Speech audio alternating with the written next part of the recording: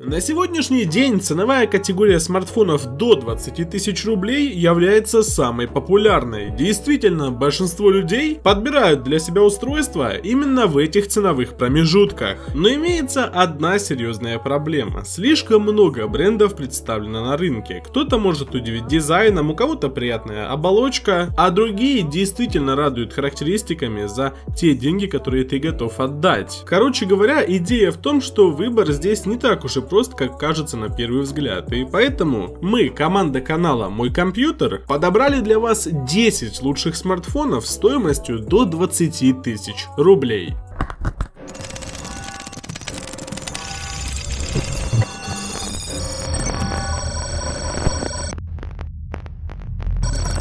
Samsung Galaxy A50. Это то устройство, которое относительно недавно появилось в продаже, и что приятно, так это естественно его стоимость. Да, это Samsung, и многие не привыкли, что в бюджетном и среднем сегменте корейский производитель может чем-то удивить. Однако сегодня, в 2019 году, на момент конца мая, начала июня, имеется отличное устройство Galaxy A50 с практически безрамочным AMOLED-экраном на 6,4 дюйма дюйма, отличной производительностью, стильным дизайном и тройной камерой с матрицами на 25, 8 и 5 мегапикселей. А что еще интересно, аккумулятор устройства имеет приличную емкость аж на 4000 мАч с поддержкой быстрой зарядки. Также имеется пусть и одиночная, но и в то же время хорошая селфи-камера на 25 мегапикселей. И что еще приятно для фанатов бесконтактной оплаты, имеется модуль NFC. В общем-то, отличное устройство за свою стоимость, даже при том, что это Samsung. Xiaomi Redmi Note 7. Естественно, большинство из вас знают, что это за устройство и прекрасно понимают, что оно стоит своих денег. Выделить можно стильный корпус из стекла Gorilla Glass 5, достаточно шустрый процессор Snapdragon 660 и отличную батарейку на 4000 мАч с поддержкой быстрой зарядки. А что же касательно камеры, здесь она двойная, где главное имеет разрешение аж в 48 мегапикселей, в дополнение которой имеется специальный вспомогательный модуль на 5 мегапикселей, рассчитанный именно для портретного режима. А что же касательно селфи камеры, то здесь это 13 мегапикселей, что более чем понятно в таком ценовом сегменте, хотя и никак не выразительно. Особенно приятно покупать Redmi Note 7 на AliExpress по распродажам или же просто где-то удачно урвать, так как переплата за сертифицированное устройство естественно будет немалой. А главный минус этого Xiaomi, как и многих других, отсутствие NFC модуля. Mi Max 3 в этом направлении куда более интересен. Вы не поверите, но до 20 тысяч рублей можно взять даже версию на 6 гигабайт оперативной памяти и 128 внутренней. Однако, само собой, это будет китайская версия. Сертифицированный будет 4 на 64, что все равно неплохо, особенно с учетом того, что Mi Max 3 это смартфон фаблет с экраном практически на 7 дюймов и процессором Snapdragon 636. 6, который примерно то же самое, что и 660. Аппарат также оборудован достойной двойной камерой, но печальной фронталкой всего на 8 мегапикселей. А самым главным его достоинством является огромная батарея аж на 5500 мАч, которая благодаря энергоэффективному железу выдает шикарную автономность. И да, главный минус здесь снова же отсутствие NFC. Huawei Mate 20 Lite. Да, это практически флагман с действительно крутым дизайном и достойным железом. Здесь всего-то за 16 тысяч рублей вы получите процессор Kirin 710, 4 на 64 памяти и батарейку на 3750 мАч с поддержкой быстрой зарядки. Да, объем не так уж и велик, но Кирины славятся своей достойной энергоэффективностью. Камеры, к счастью, полностью двойные и спереди, и сзади, так что фанаты селфи явно останутся довольны. И да, здесь имеется поддержка бесконтактной оплаты, то есть NFC модуль на борту. Xiaomi Mi A2 Смартфон, выпущенный в рамках программы Android One, и поэтому он явно должен понравиться поклонникам девственно чистой системы Google. То есть здесь не будет каких-либо кастомных интерфейсов и прочих модификаций, а лишь голый Android. Процессор используется классический для этого сегмента Snapdragon 660, в случае с памятью это до 6 гигабайт оперативки и 128 внутренней, при этом дисплей установлен всего-то 6-дюймовый, а камера сзади двойная, спереди одиночная. Причем и в том и в том случае это вполне себе достойные модули. Из печального батарейка поддерживает быструю зарядку, но имеет емкость всего на 3000 мАч, чего очень мало на сегодняшний день. Ну, как минимум на сутки активной работы Mi A2 должно хватить.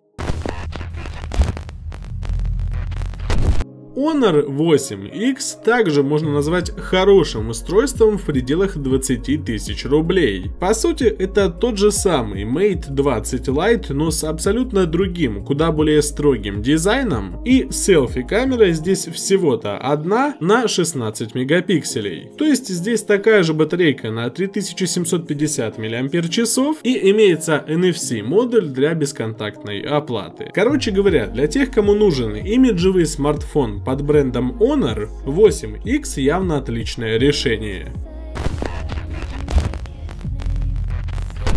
Pocophone F1. Это абсолютная противоположность всем смартфонам, которые мы до этого рассматривали, просто потому что до 20 тысяч рублей вы получите флагманскую начинку. А все за счет крутого процессора 845-го Snapdragon, который обходит все Kirin 710, Snapdragon 660 и все остальное, что вы можете встретить в этих ценовых пределах. А что интересно, вы можете приобрести еще и устройство с 8 гигабайт гигабайтами оперативной памяти на 256 внутренней. Хотя, конечно, не факт, что она влезет в 20 тысяч рублей. Камеры здесь точно такие же, как у Max 3, но, что интересно, спереди всего-то одиночная селфи-камера на 20 мегапикселей. Батарейка также обладает достойной емкостью на 4000 мАч и поддерживает быструю зарядку третьей версии. То есть это шикарное устройство, которое уж точно стоит своих денег, однако есть классический для Xiaomi минус – это отсутствие NFC модуля.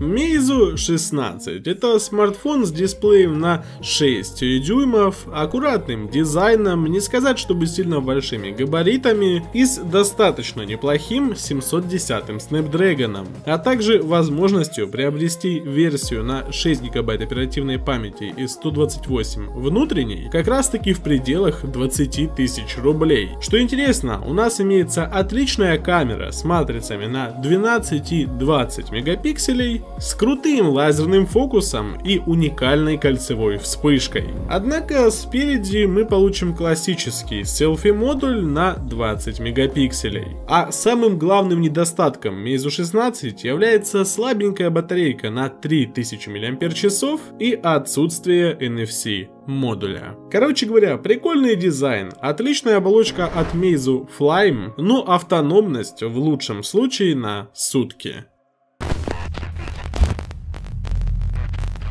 Honor 8X Max. Это также устройство, которое можно приобрести в пределах 20 тысяч рублей. И да, за счет приписки Max многие уже поняли, что это фаблет, дисплей которого имеет диагональ аж на 7,1 дюйма, что является вторым показателем на рынке после Mate 20X. Интересно то, что внутри установлен Snapdragon 636, а не какой-нибудь Kirin Kirin. И это неплохо так выделяет 8X Max на фоне других Honor и остальных конкурентов. Из минусов можно сказать, что версию более чем на 4 гигабайта оперативной памяти вы приобрести не сможете, зато имеется отличный аккумулятор на 5000 мАч с быстрой зарядкой. Одно но, камеры здесь достаточно обычные, сзади это 16 плюс 2 мегапикселя, а спереди вообще всего-то 8. И что интересно, такой же проблемой обладает фаблет от Xiaomi Mi Max 3, о чем я уже до этого говорил. И да, здесь снова же нет NFC, что как-то непривычно для Huawei, и кажется, будто Honor 8X Max разработали Xiaomi. Но в любом случае, вы получаете, можно сказать, планшет с действительно крутым экраном, где главный упор сделан именно на нем. И да, по традициям Huawei, дизайн данного смартфона также очень даже неплох.